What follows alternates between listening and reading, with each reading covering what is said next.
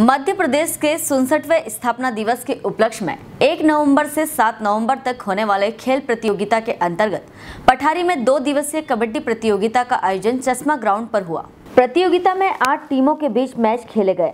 जिसमें final match शान ए हिंद पठारी एवं सुपर स्टार पठारी के बीच खेला गया। जिसमें शान ए हिंद टीम ने 33 पॉइंट बनाए, जबकि सुपर स्टार पठारी मात्र 15 पॉइंट बना सके। जिसमें शान ए हिंद पठारी को विजय घोषित किया गया। विजेता टीम के कप्तान असद खान को ट्रॉफी एवं हज़ार रुपए नगद राशि प्रदान की, जबकि सुपरस्टार पठारी को उप विजेता के कप्तान फिरोज खान को ट्रॉफी एवं पाँच सौ की राशि से सम्मानित किया गया। विदिशा पठारी से आशीष सहली की रिपोर्ट।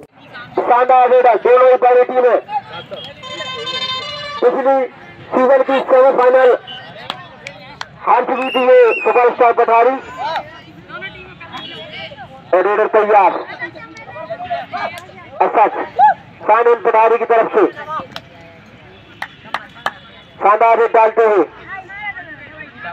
लेकिन हेलो फ्रेंड्स आप देख रहे हैं हमारा channel S W twenty four news हमारे सारे वीडियो सबसे पहले देखने के लिए आप हमारे चैनल को सब्सक्राइब करें और पास में लगे बेल आइकोन को दबाना बिल्कुल भी ना भूलें।